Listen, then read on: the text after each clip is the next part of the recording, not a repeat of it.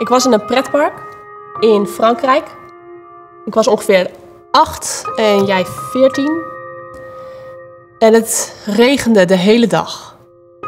Uh, met papa en mama lopen we door een grottencomplex. Een heel doolhof met allemaal gangetjes en bruggetjes en doorkijkjes.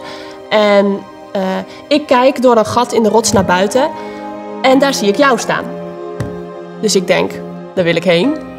Dus ik laat papa en mama achter en ik ren door die gangen uh, op zoek naar de uitgang. En uiteindelijk uh, kom ik op de plek waar jij stond en daar ben je niet meer.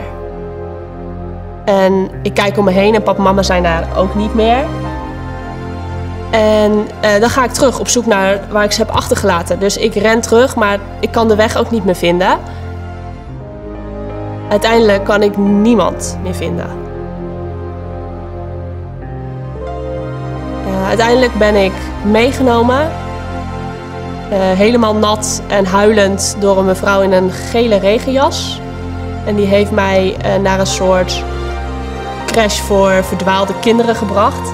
En daar heb ik een uur Franse tekenfilmpjes gekeken. totdat mama mij kwam halen.